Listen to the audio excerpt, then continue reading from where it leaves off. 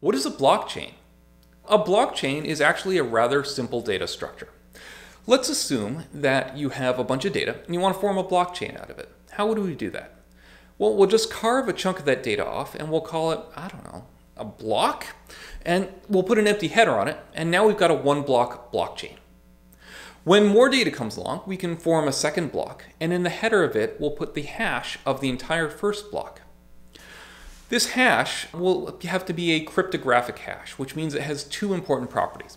One is it's really cheap and easy for us to recompute it, which means that we can at any time validate that the first block is okay by recomputing its hash and comparing it to the hash we've stored in the second block. The second property it has is it's next to impossible for an attacker to go and corrupt our first block in a way which it will pass our hash validation. So any corruption will be detected and we won't be fooled. And then when we want to add a third block to our blockchain, we just use the hash of the second block. And for a fourth block, we use the hash of the third block and so on. So it's just a chain of blocks chained together by the hashes of the prior blocks. So why are we using hashes instead of pointers to chain this together? Well, it means that the blockchain is actually kind of has this really useful property, which is we only need to find one trusted friend to give us the very last block in the blockchain. And as long as we get a good copy of that, any other blocks we get from any other computers on the network, whether they are our best buddies' computers or whether they're computers owned by hackers we don't trust, it doesn't matter. We can validate by validating all these hashes that our blockchain is intact, that it hasn't been corrupted by anyone, and we've got a perfect copy of the blockchain all starting from just having one block, which we got from a trusted partner. So that's really it. That is the blockchain data structure, and that's what you need to understand about it in order to understand the Bitcoin blockchain consensus. But I want to explain one other detail simply because it's interesting and kind of useful for understanding how Bitcoin works. And it is this Bitcoin, in its blocks and its blockchain, store every single transaction that's ever occurred in Bitcoin back to the very start of the Bitcoin cryptocurrency.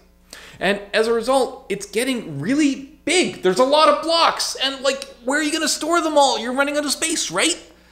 Well, maybe, but Bitcoin does something clever. They don't actually store the transaction data in the blocks of the blockchain itself. Instead, in the blocks of the blockchain, they store a reference to a data structure called a Merkle tree. A Merkle tree is a binary tree, and it's a binary tree where each node contains the hash of the two nodes underneath it.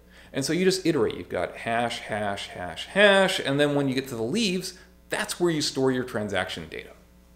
So why do we use this Merkle tree? What's, what's the benefit of it?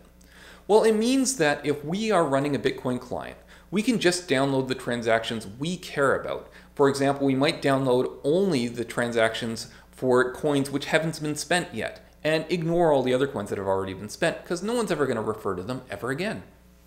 That saves us a lot of disk space, and if at any point we decide we want to verify that we trust everything in our data structure, we can still recompute all of the hashes starting from the transactions at the leaves up through the Merkle tree and up through the Bitcoin blockchain and end up with a validation that the whole thing has not been corrupted. So that's kind of cool. And so that is all you need to understand about the Bitcoin blockchain data structure. Please keep on watching to the next video where we're going to learn about how we replicate that data structure from one computer to another, forming a consensus.